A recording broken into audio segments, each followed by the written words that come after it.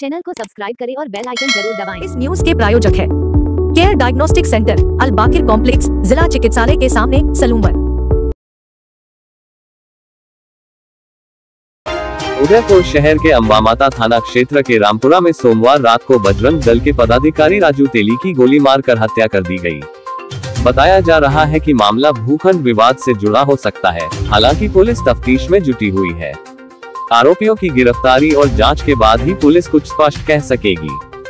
Police ने बताया कि मल्ला तलाई के 80 फीट रोड निवासी राजू तेली की रामपुरा रोड पर चिकन सेंटर की दुकान है। राजू तेली करीब 8 बजे उसकी दुकान के बाहर खड़ा था। इसी दौरान बाइक पर दो लड़के आए। राजू तेली के नज़दीक पहुँचते ही बाइक सवार एक युवक ने राजू पर फायरिंग की। गोली राजू के सिर में लगी। इससे राजू की वही मौके पर ही मौत हो गई और बाइक सवार युवक मौके से फरार हो गए। घटनाक्रम के बाद स्थानीय लोग और परिजन राजू को हॉस्पिटल लेकर पहुँचे, जहाँ डॉक्टर्स ने उसे मृत घोषित कर दिया।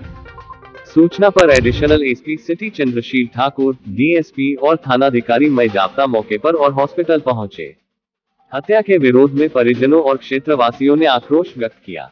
मौके से मिले सीसीटीवी फुटेज के आधार पर पुलिस गोली चलाने वाले आरोपी बाइक सवार युवकों को चिन्हित करने का प्रयास कर रही है।